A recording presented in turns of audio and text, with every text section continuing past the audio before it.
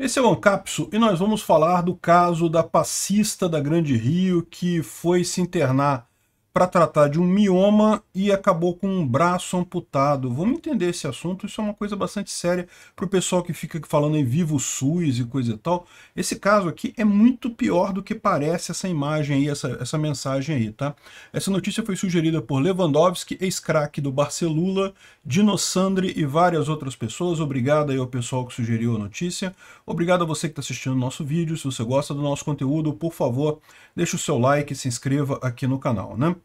Pois bem, é um caso muito triste. Essa notícia está circulando com muita força, porque aconteceu aqui no Rio de Janeiro, está circulando aqui nos jornais locais aqui do Rio. Eu não sei se o resto do país está sabendo deste caso, mas é um caso revoltante de, que mostra como é que funciona o SUS, né? Essa coisa que o pessoal fica falando, viva o SUS, é que na verdade é o, é o, grande drama da saúde brasileira, é a grande preocupação, é o que causa o problema de saúde que nós temos hoje no Brasil, é essa estrutura totalmente sem sentido que é o SUS, né? Enfim, o caso aqui é da Alessandra dos Santos Silva, essa moça que teve... É, um, olha, só, olha só como é que é a história. Ela, em agosto de 2022, ela sentiu dores e teve sangramentos, né? E aí fez exames que apontavam um mioma no útero. Mioma é um tipo de tumor benigno, né? ou seja, não é, um não é um câncer, mas é um tumor que pode causar problemas também, então tem que ser retirado e coisa e tal. E daí, o que, ela fez, o que, o que diz o, o exame? Olha só, é, especialistas recomendam a retirada imediata do mioma. É o que se faz em caso de câncer. Câncer, o tempo é crucial. Se você faz a, cirurgia em pouco tempo, você tem chance grande de não ter problema. Se você demora muito tempo, as coisas pioram. E embora o mioma não seja um câncer, seja um, um, uh, um tumor é, benigno também é o mesmo princípio. Também, à medida que vai passando o tempo, a coisa complica, a coisa fica pior. Uma parte maior do, do útero né, acaba sendo é, comprometida com isso daí. Aí, quase seis meses depois, ele, ela consegue uma, uma cirurgia. Né? E, na verdade, é, aí foi operado no dia 3 de fevereiro, e só que à noite os médicos detectaram uma hemorragia. Então, ou seja, ela levou seis meses para conseguir uma, uma cirurgia, mesmo sendo um caso de urgência, um caso que precisava ser removido imediatamente. Isso é o padrão no SUS. É o que eu falo. O pessoal fala assim, ah, mas e se o SUS, sem o SUS o pobre não, te, não teria saúde? O pobre já não tem saúde hoje com o SUS. Ele já não consegue o que ele precisa no SUS. Não adianta. Essa ideia de que, ah, não, o pobre precisa ter alguma coisa que ele faça. Coisa... Não, não adianta. Ele já não tem saúde hoje. Não tem o que recorrer. O SUS não funciona. Não atende quem precisa.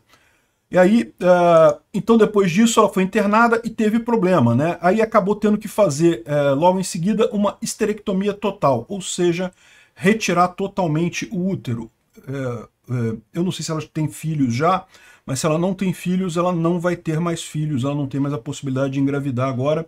Em tese, eu não sei como é que foi essa esterectomia, se tirou também os, os ovários e coisa e tal, mas é o mais provável é que ela tenha ficado uh, uh, incapaz de, de ter filhos. Ou seja, é uma coisa séria isso, né?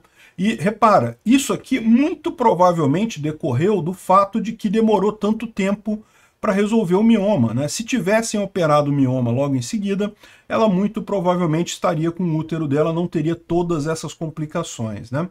Mas parece que a coisa não parou por aí. Houve algum tipo de erro médico, alguma coisa eu não sei, trombose me parece muito pouco provável que uma trombose causasse esse tipo de problema, mas enfim. É, parece que no dia 5 de fevereiro os parentes foram visitá-la no hospital e ela estava com as pontas dos dedos da mão é, escurecidas, né?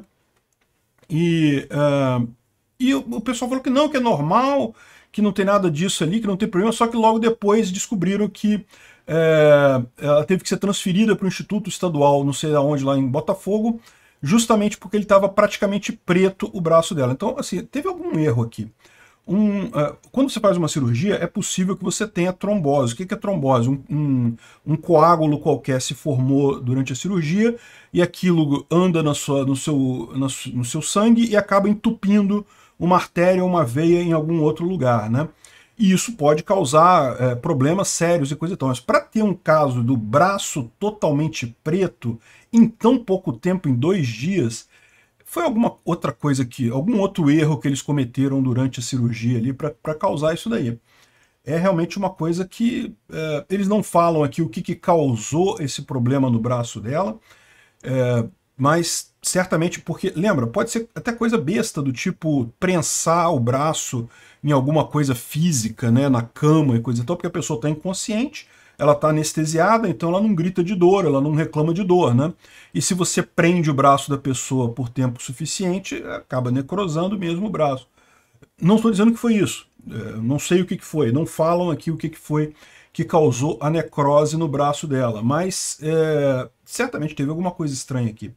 A família, não vendo alternativa, autorizou a amputação, né? Porque aí não tem jeito. Realmente, quando começa a necrosar um membro, tem que cortar fora, não tem alternativa, né? E daí uh, ela saiu, recebeu alta no dia 15 de fevereiro e ainda teve que fazer várias outras, uh, outras voltas lá. Parece que o estado dos pontos no braço e na barriga ainda estava ainda tava complicado, teve erro nisso também, né? E uh, ainda levou, olha só, do dia 28 de fevereiro até o dia 4 de março, ela foi recusada em diferentes hospitais e acabou sendo internada no Hospital Maternidade Fernando Magalhães e transferida para o Souza Guiar. Né? E agora em abril só que ela teve alta, pra, depois de consertar já pela segunda vez a, a cirurgia que foi feita. Ou seja, ela teve sorte, ela está viva graças à ajuda dos amigos que foram incansáveis, ficaram correndo atrás de levá-la para o hospital, coisa e tal. Quantas pessoas que não têm a sorte de ter uma família que se empenha, que tenta correr atrás, meu amigo, é o que eu falo, o SUS é um assassino. O SUS tinha que ser extinto, é a pior coisa que existe para a saúde brasileira é o SUS. O SUS é uma máquina de fazer licitação, só interessa para político. O pessoal adora fazer as licitações do SUS porque dá muito dinheiro, gira muito dinheiro aquilo ali. Atender o paciente, ah, se der a gente atende o paciente, isso aí não é o problema. O problema é o esquemão lá das licitações que tem no SUS, é isso que o pessoal quer. É, é isso, é esses, essas pessoas que o SUS atende. Como absolutamente toda entidade estatal, o cliente final da entidade são os próprios políticos, é o próprio Estado, não é a população. A população é atendida para dar uma justificativa ali, né, para dizer que tem alguma coisa, mas na verdade o SUS não existe. Não defenda o SUS. Obrigado por assistir o vídeo até o final. Além de curtir, compartilhar e se inscrever no canal, considere se tornar patrocinador com valores a partir de R$ 1,99 clique no botão Seja Membro abaixo para saber as condições e vantagens de patrocinar o canal. Mais informações sobre o nosso projeto, visite nossos sites indicados na tela.